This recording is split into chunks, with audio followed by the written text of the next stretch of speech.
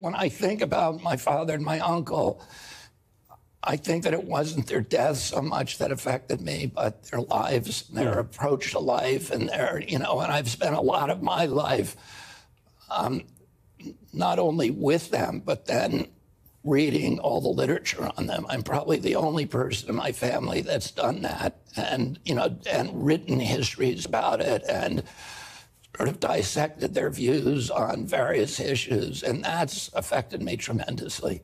Um, in terms of the trauma, I can't. I you know, it's hard for me to just think. Well, I was a drug addict for 14 years, and it's and my addiction started right after my dad's death. But in my construction of events, I don't blame my father's death on my addiction. I feel like I was born like that, that I was born with an empty hole inside of me, and that I was looking for ways to fill it, you know, things outside of me to fill it. And that's what addicts do. And Do other people in your life feel that way? Because you, again, we don't know, but you could imagine a, a friend or a, a partner or a doctor saying if, if the events occurred right after, they, they might see the link. Well, You're- of you're course, and and I have no way of really uh, of making that determination. So you know, I spend a lot of time in self-examination. Um, I've been in recovery for 40 years. I go to meetings every day, and that's a process of constant um, self-examination. So you know, in my kind of I've come down on the side that, you know, the trauma clearly affects things about, I'm, I'm sure, how I process the world.